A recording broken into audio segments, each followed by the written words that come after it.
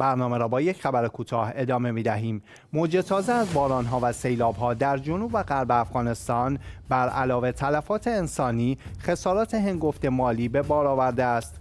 وزارت مقابله با حوادث طبیعی طالبان می‌گوید دست کم 33 نفر بر اثر سیلاب در سه روز اخیر جان خود را از دست دادند. گفته شده بیشتر قربانیان در استانده های قندهار، زابل و هرات بودند. بر اساس گفته این وزارت حدود 606 خانه روستایی و حدود 2000 هکتار زمین زراعتی و حدود 85 کیلومتر جاده تخریب و بیش از 200 دام تلف شده است. در همین حال اداره هواشناسی افغانستان در مورد بارش سنگین برف و باران شدید در بیشتر استانها هشدار داده است.